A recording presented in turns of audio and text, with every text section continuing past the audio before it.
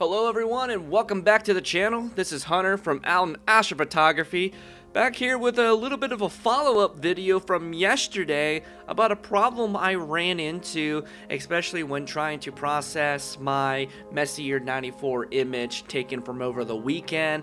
And I had the problem of not being able to find my filter sets that I will use for spectrophotometric color calibration with the latest version of PixInsight. Now currently I am now running PixInsight build 1601 and I've seen from a couple of others that are having this problem as well that the option to add your custom filters that you made, especially for different brands that are out there. Like for me, I was trying to find the ones that I have created for the Optolong L Quad Enhance, but when going into SPCC, you can see it is not there. I mean, the default ones like the L Enhance, L Extreme, and L Ultimate were there, but down here at the bottom, you were able to add like the Curve Explorer and be able to add your own filters to this. It's not there anymore in this place, so I had to do a little bit of some digging and kind of a little bit of some my uh, research around the internet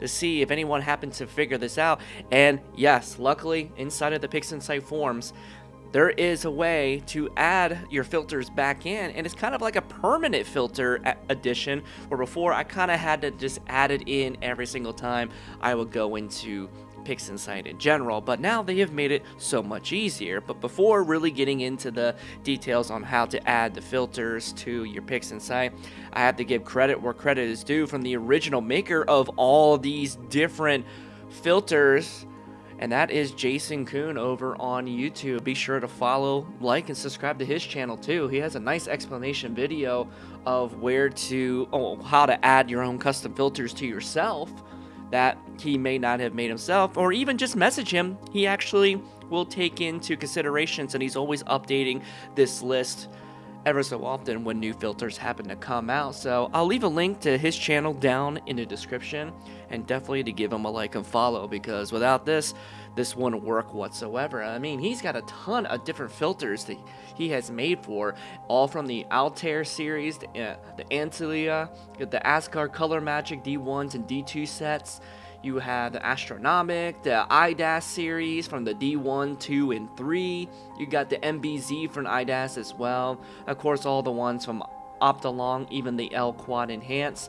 Some Panasonic one, the Radian Triad filter, and then there's even some other combinations down like the SVBONY, the ZWO dual band filters as well. I had the liberty of downloading this as well and add my own, so I have a separate link that I will also leave down in the description that you would need to download the zip file and be able to extract into its own separate folder in itself. So going back over towards PixInsight, where to find how to add the filters now is in processes, all processes, and then down towards filter management.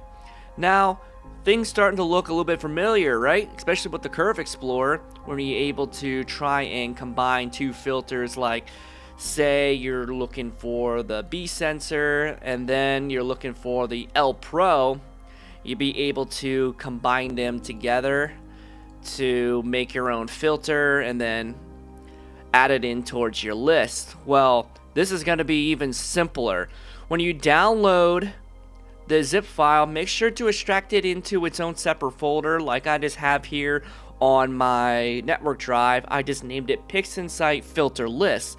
And it has everything all through here of the combined default and the new ones that Jason and I have made together into this one single folder. And let me tell you, look how simple this is. All you have to do is just go to wherever the task is and merge CSV filter definitions. And when you do that, you go find where your network drive is or wherever you put your filter list. You just select the folder and you hit the apply global button. And when you do that, it will implement all of the filters right into SPCC. So now when I go into here and say if I'm looking for my Optolong L Quad Enhance, look at all the filters that were added now and it's defaulted. So there's my red L Quad, zoom it back up. There's my G for green, and then my blue. So that's all there too. Or if I'm shooting with a dual narrowband filter like the Askar D1, those are already there as well. And the nice part is, this will stay there even after closing PixInsight and reopening it. Your filters will still be there. So it was a little bit of a change. You just kind of have to search for it when you did, but I'm hoping this video kind of makes it a little bit more easier for people to have these filters, and especially if you have any other ones you want me to keep adding on to this list, just shoot me a message or an email and I'll be sure to add them to the original list with any updates going further down the line or if anything that Jason has down the line to be implemented in towards the filters because we all know new products show up all the time. Well, thank you everyone. I hope this video finds you well and be able to make things like this much easier for everyday PixInsight users like myself. So, if you like what you see, you want to see more of it, leave a comment, leave a like on the video. It does help me motivate me to continue to make videos going forward. Clear skies, hopefully I get to do some more imaging here soon, and I will see you in the next video. Or if you have any more suggestions on topics to cover, especially PixInsight wise, please let me know, and I'll see you next time.